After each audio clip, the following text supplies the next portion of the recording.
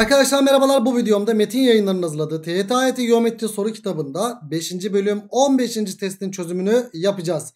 Üniversite lehim testi, karma test, üçgende benzerlik, üçgende alan ve üçgende merkezler karmasından oluşuyordu. Üniversite lehim testleri hatırlıyorsanız Evet isterseniz çözümlere başlayalım. Ela üçgen bir afişi dolabına dikdörtgen bir koli bandı ile şekildeki gibi yapıştırıyor. Koli bandının uzun kenarları üçgenin bir kenarına paralel olacak biçimde yapıştırılınca aşağıdaki şekildeki gibi santimetre cinsinden verilen ölçüler oluşuyor. Arkadaşlar 15 20 25 üçgen oluşmuş böyle. İsterseniz bunu buraya şöyle bir şey yapayım. Şurası 15 20 ve 25 dikdörtgen şeklindeki bir koliyi ne yapmış? Bir kenarına paralel mi olarak yapıştırmış? Evet bir kenarına paralel olarak yapıştırmış. Yani şununla şu birbirine paralel. Daha doğrusu bu da paralel. Burası 12. Buradan buraya çizilen dik uzunluğu biliyorum. O zaman ben burada da şu dik uzunluğu bulsam. Arkadaşlar normalde 15 çarpı 20 bölü 2 25 çarpı h bölü 2 eşit de ben bunu hissedeceğim. Nasıl hissedeyim? 15 var büyük ihtimalle 9 12 15'tir. 12 20 12 16 20 tutuyor mu tutuyor. Evet ne bulduk arkadaşlar burada? Şurayı 12 buldum. E hocam burası da 12. Bize diyor ki devamında buna göre afişin bant altında kalan kısmının alanı kaç santimetre karedir diye soruluyor arkadaşlar. Afişin bant kısmında kalan bölgesinin alanı. Bantın altında kalan bölgesi. Burası arkadaşlar. E, yani bunlar ne çıktı arkadaşlar? 12'ye 12 mi çıktı? Evet. 12 12 ise o zaman şunlar da birbirine eşittir. Yani şöyle bir dik, büyük dik üçgen çıktı şimdi. Bizden istenilen ne? Bak şimdi dikkat dikkat 15 20 e, burası da 15. Yani şunlar birbirine eşit. Arkadaşlar A iken burası 3A değil miydi? Evet 1'e 3 bunlar eşit olduğunda. Zaten bizden şuradaki alan isteniliyor arkadaşlar. A alanını bulabilir miyiz? Buluruz tabii ki. 15 çarpı 20 bölü 2'den 150 mi geldi arkadaşlar? Evet. Bizden ne isteniyor? 3A isteniyor. O da 450 yapar. Evet birinci soru böylelikle Edremit oldu. İkinci soruya gelelim. Aşağıdaki düzenekte birbirine paralel duran iki kartondan öndekine üçgensel bir delik açılıyor. Daha sonra delikten açılan kartona 2 metre mesafeden 2 metre mesafeden bir şey yapılmış arkadaşlar. El feneriyle ışık tutulmuş. İki karton arasındaki mesafede 1 metre olarak verilmiş. Şuradaki 1 metre olarak verilmiş. Arkadaşlar ışık tutulmuş. Bunun büyümüş hali burada değil mi? Evet benzerlik oranı ne? Arkadaşlar benzerlik oranı aslında şöyle bakacak olursanız şu şu Devam ediyor. Şu ve şu. Şurası 2 1 ya. O zaman burası ve buradaki uzunluk arasındaki uzunluk nedir? 2 bölü 3 oran. Yani burası 2K ise burası nedir? 3K. Hocam şu üçgenle şu üçgen nedir? Benzerdir. Benzerlik oranı nedir? 2 bölü 3'tür. Karesi 4 bölü 9. Alanlar oranı eşit olmaz mı? Yani burada kalan 4A iken burada kalan 9A'dır.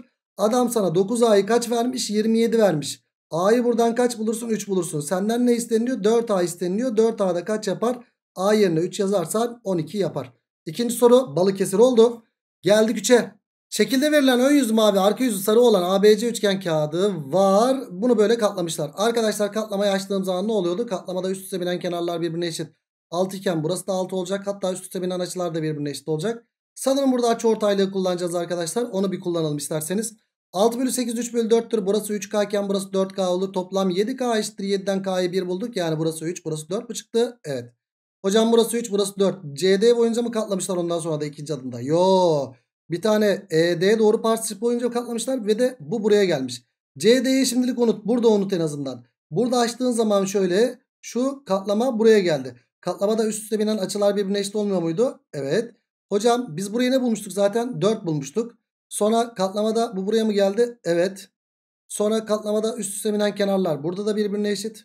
Şurada da şu katlamayı şöyle açayım. Eski haline geri getireyim. Eski haline geri getirdiğim zaman da ne oldu arkadaşlar? Şurası da 3 olarak verilmişti. Hocam katladığımda 3 ile burası da 3 mü oluyor? Hayır dikkat. Sen bunu böyle açtığın zaman e, bu şuradaki uzunluk C noktasıydı. C, C üssü olarak burada bir yerde arkadaşlar. Sorunun devamını okuyayım. Yapılan tüm katlamalar açılarak ADDE ve DE üssü kat izleri geliyor. Ha bir de E, E katlamasından dolayı katlamayı açtığın zaman bir de E üssü geliyor burada. Tamam. Bu 6'mış arkadaşlar. Burası 6 ise burası kaç oldu? 2 oldu. Tamam olay bitti. Bak burada bir açı ortaylık var. Şunun tamamı kaçtı? 8 değil miydi? Evet. 4 bölü 6. 2 bölü 3 değil midir burası? Hocam burası 2K iken burası 3K diyebilir miyiz? Diyebiliriz. Hatta yukarıda K'yı kullandık. 2A ise burası da nedir arkadaşlar? 3A diyebiliriz. Sonrasında bizden ne isteniyor? Alanlarla alakalı bir şey isteniyor. Arkadaşım sen alan dağıtmaya başlayalım mı? Başlayalım. 2'deki alan 2A ise 4'teki alan 4A'dır. Sonra 3A'da kalan kaç A burada? 5A ise 2A'da kalan 3A'da kalan 6A ise 2 katı 2 katı burası da 4A'dır. 4'teki kalan kaç A arkadaşlar burada? 10A. Ya 4'ün katı değil. O zaman 10A olduğu için ne yapmamalıyız? En baştakini 2A'ya 4A diyeceğimize şöyle şey deseydik 4A'ya 8A diye başlasak daha mı kolay olacak? 3A'da kalan 12 ise 2A yani 4 katı 4 katı 2A'da kalan da kaç yapıyor? 8A yapacak. Şimdi 4'te kalan 20A yaptı. 5 katı 5 katı burası da 15A yapacak. Burası 15A yapacak. Ama burada E üssü de var arkadaşlar. E üssü tam olarak şuraya denk gelmiyor mu arkadaşlar? Evet. Katlamada üst üste hani şu katlamayı açtığın zaman katlamada üst üste binen alanlar da birbirine eşit olmayacak mı? Yani burası 4A iken burası da 4A olacak. Burası 8A iken burası da 8A olacak. E bunun tamamı da 15 aydı. 8 4 daha 12. Buraya da 3A mı kaldı arkadaşlar? Çünkü şunun katlanmış hali buraya denk geliyor değil mi? E, E üssü olarak buraya geldi ya. Katlamada şu alanlar birbirine eşit olacak. Yani burası 12A ise burası da 12A. Buraya da 3A kaldı. Bizden ne isteniyor? BDE üçgenin alanı. BDE üçgenin alanını 8A bulduk. 8A eşittir. DCE üçgenin alanının yani 3A'nın kaç katıdır diye soruluyor arkadaşlar bize. A'lar gitti. Buradan da ne geldi? 8 bölü 3 yaptı arkadaşlar X. Güzel bir soru.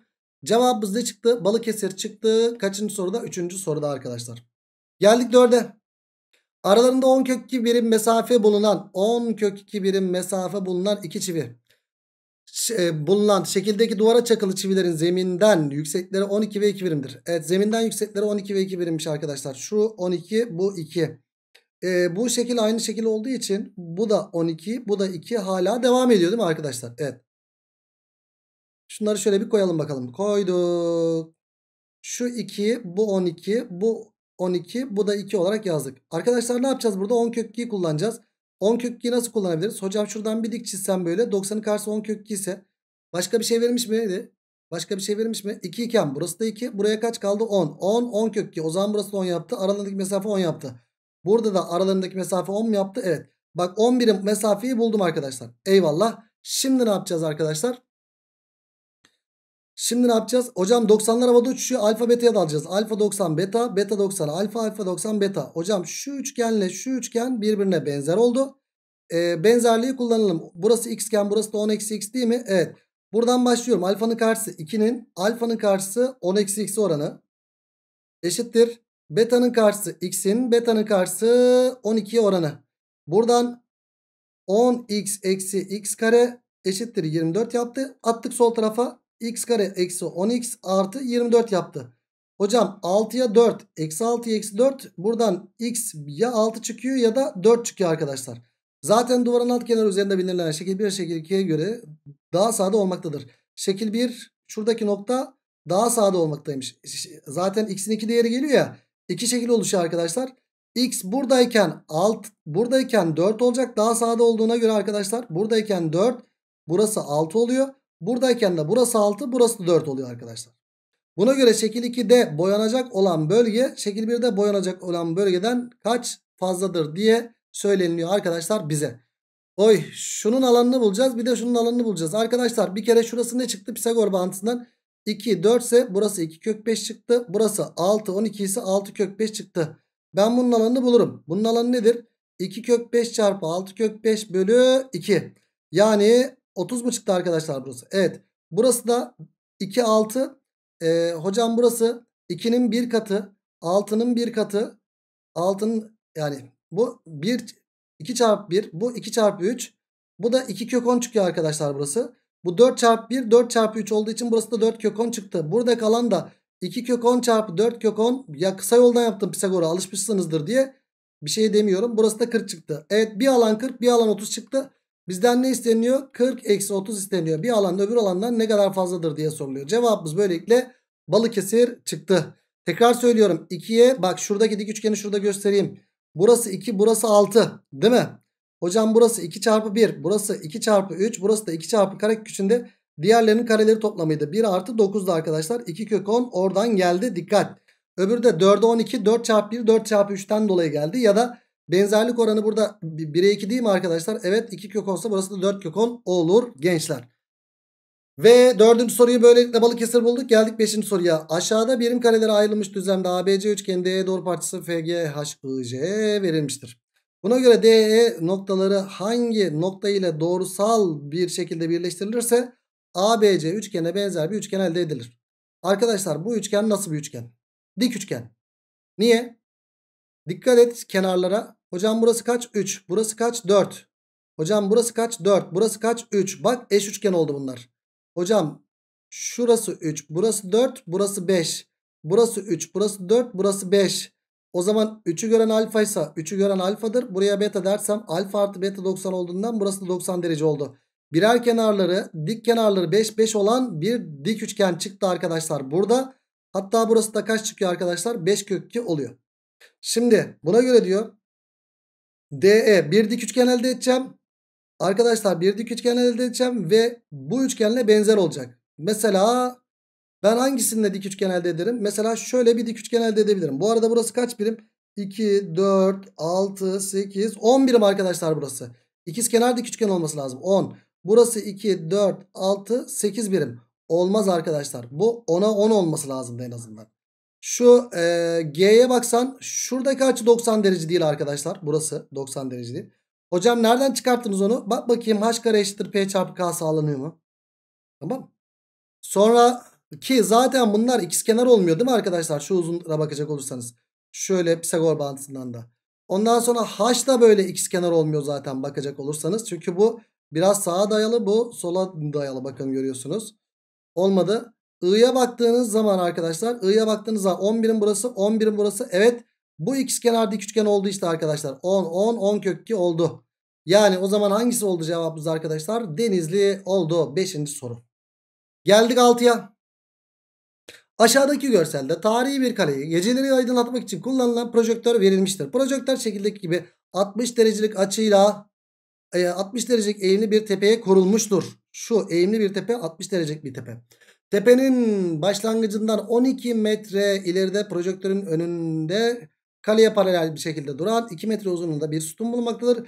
Geceli projektör açıl, çalıştırıldığında sütunun kale üzerinde 10 metre uzunluğunda gölgesi oluşuyor. Arkadaşlar burada bir temel orantı var mı? Var. Şunda şu paralel ya. 2 bölü 10. 2 bölü 10 neye eşittir gençler? Hocam burada da 2 bölü 10 diyeceğiz değil mi gençler? Şu 60'ı kullanacağım ben ya. Şöyle göstereyim. 2 bölü 10 yani 2 bölü 10 x bölü x artı 12 mi? Evet x bölü x artı 12'ye eşittir. Yani şu şu sadeleşince 1'e 5. 5x eşittir x artı 12'den. 4x eşittir 12'den. X'i buradan kaç buluruz? 3 buluruz.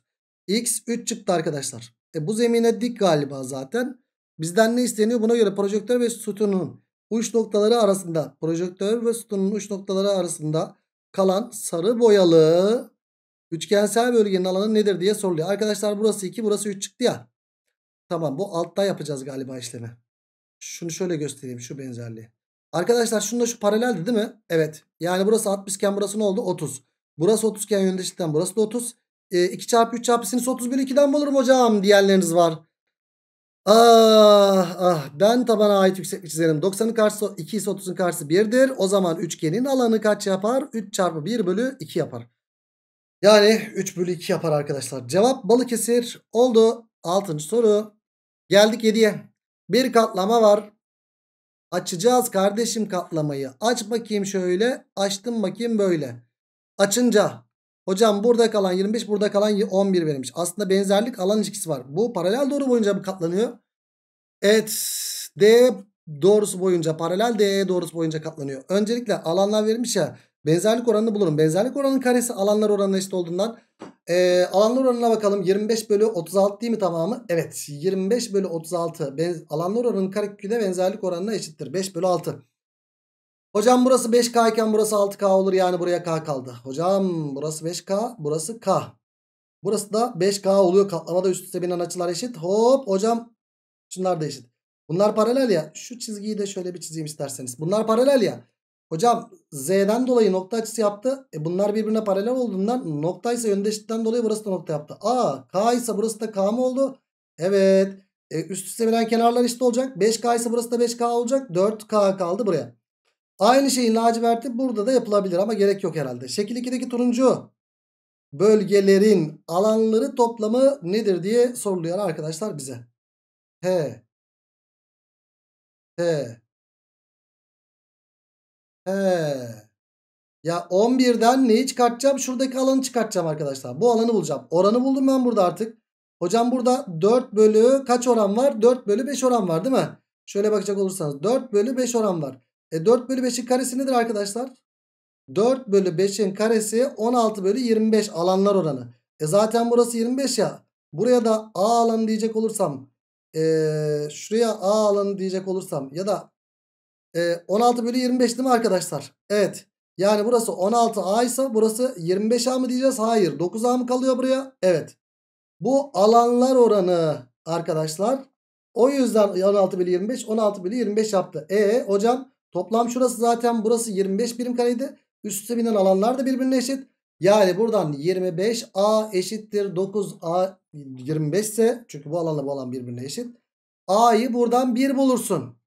A 1 ise 9A 9 çıkar. O zaman sen buradan şu 9 alanını çıkartacaksın. E şuradaki alanlar isteniliyor benden. Yani bu taralı alanlar toplamı ne yapıyor arkadaşlar? 11 eksi 9 yapıyor. O da kaç yapıyor? 2 yapıyor. Yani cevap böylelikle Akçay oldu. Ve 15. testte bitirdik. O zaman ne diyoruz? Bir sonraki videoda sona az kaldı. Bitireceğim. Bugün inat, inat ettim. 16. testte görüşmek dileğiyle. Kendinize iyi bakın. Hoşçakalın.